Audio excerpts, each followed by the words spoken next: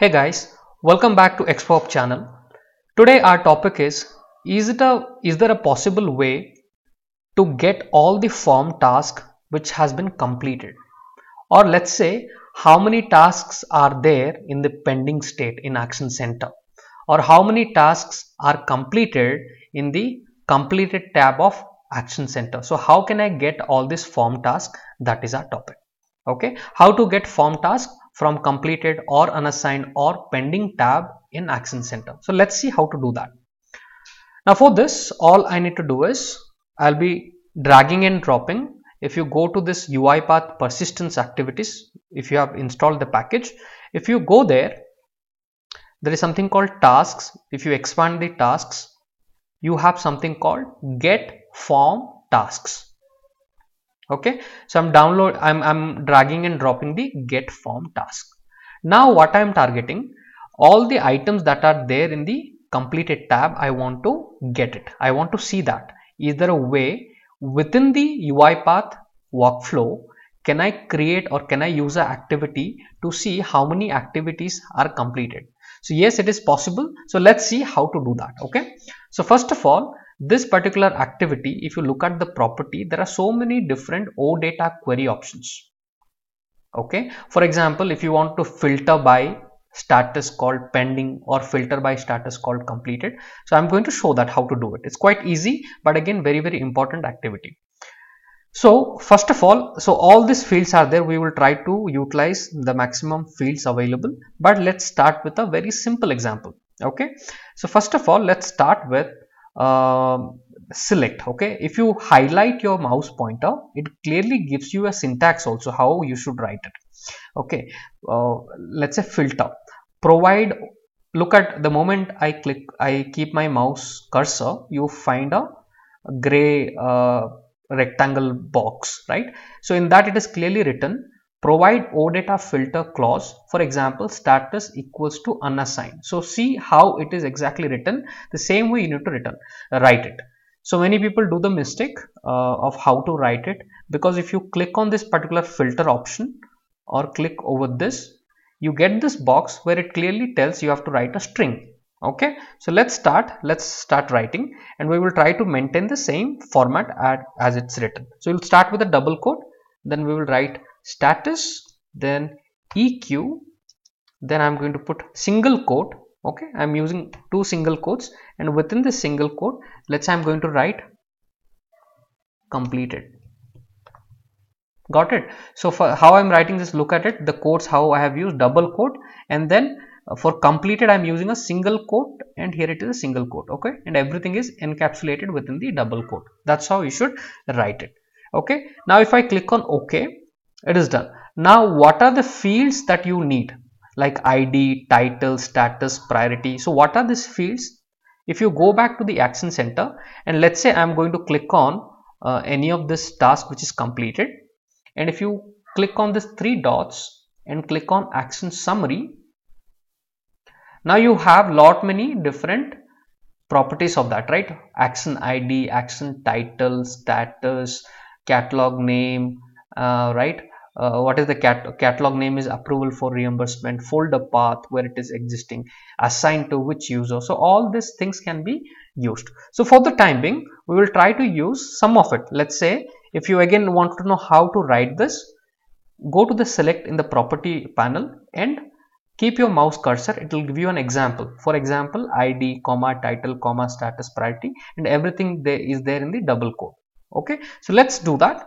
Uh, i'm going to write it in the similar way as per the example i'm going to say double quote and i need id and then i need status then I need let's say priority of that task. Okay these are the three different items that I want to see. ID status and priority. Okay so let's click on okay so ensure all your spelling and everything is uh, well written so that you have not made a mistake. All right uh, if something wrong appears you need to probably correct the the way you have written it okay? You need to check that in case it is not able to pull the data. Now the very important uh, output of this get form task is task object okay? Task object. So here let me create um, a variable control plus k and i'm going to say get form right? Form tasks so i'll create an output called form tasks okay okay. Now we have to understand what is this form task. Okay. Now if you go to the output if you look at the output form task what it tells if you highlight on this it tells you task objects. So every task id like that there are multiple objects of task task objects. It has a s right? Task objects which is kind of a list form task data. It is a list list kind of a data. List of task objects matching the given criteria. So whatever the criteria we have given here. So here our filter criteria. The status equals to completed. So it is try to it will try to pull all the tasks that are available under completed. Okay? So all the form tasks. Uh, if i say pending then it's going to pull all the tasks that is there under pending. So that is the meaning.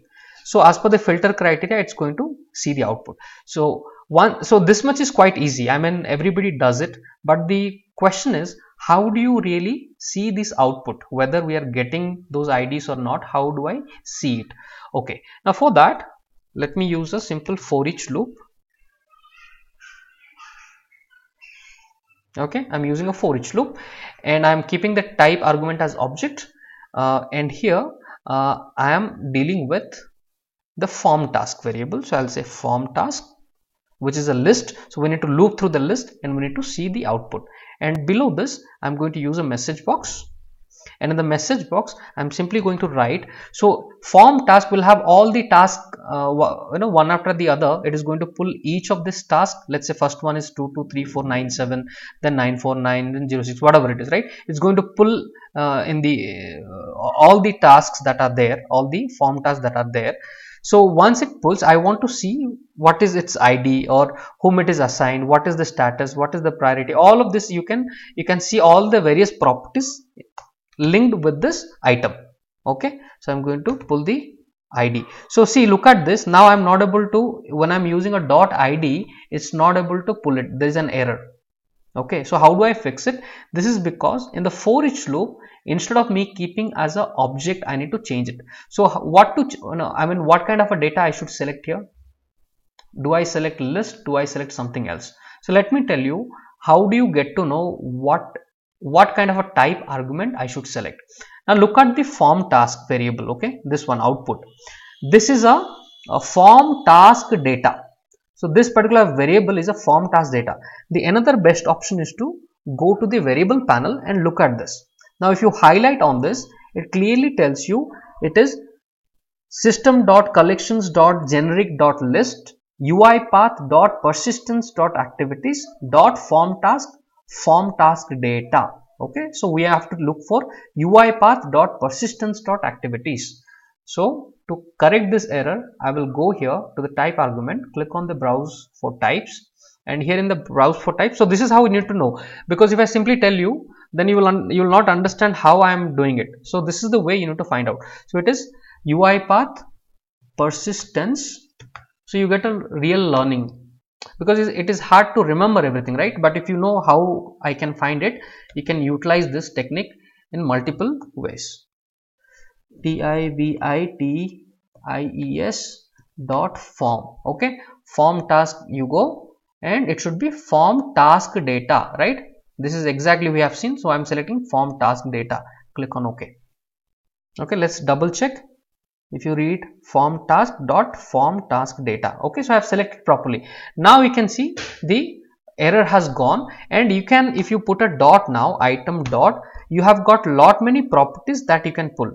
For example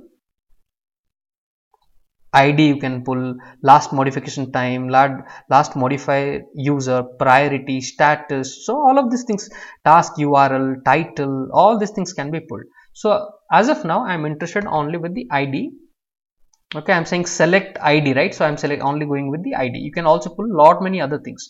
You can put in the select criteria. What are the different uh, properties that you would like to pull for that particular task okay this is done now let's run it and then i'm going to talk about how do you utilize the task catalog name if you want to filter out only specific tasks how to do that i'm going to show it now for the time being let's run this so this much is clear, right? How to use the get form task and for each loop, how you can utilize. So this is one way. There are multiple ways to even pull the data. I'm going to show you through a simple assign activity also or a message box also you can do it. So here the first one came as 725,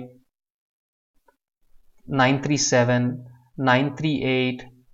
Okay, now here if you look at the output, it tells you retrieved 32 tasks from the server. Okay, so like that it will continue for all the 32 different tasks 941. Now there is another way. So this is how you download or you can uh, create a workflow uh, to utilize within your workflow, right? Wherever you want to utilize. So get form task will be very, very useful. So this is one way.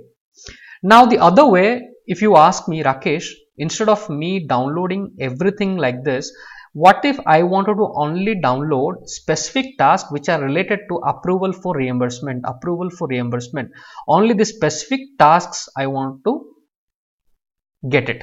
Okay, so how to do that? Now for that, all you need to do, click on this task, whatever the task and look if there is a catalog created. Remember, there is something called action catalog, approval for reimbursement. So this is, there is a catalog created. Now, if you don't know what is a catalog name, this is very, very important in Action Center. I would recommend you to search uh, on your YouTube Action Catalog Expo Hub and there's a video that I have created on how to utilize Action Catalog. This is very useful to categorize all your tasks, which category of task it is. Okay, for that it is very, very useful. So you watch this video in case you are not aware. Otherwise, if you know what is a catalog name, I'm going to copy that catalog name. Okay i'm going to copy this catalog name. And i will go to studio. And here in the task catalog name i'll put a double quote and put it. Very simple. So this time last time it has pulled how many activities in total? 32 now if i put like this one second. Let me paste it in a notepad. I think some kind of a formatting issue. So let me copy it from here go back and double quote and paste. It simple. Now if you do this in last time how many output has come? 32 tasks were come in the completed tab.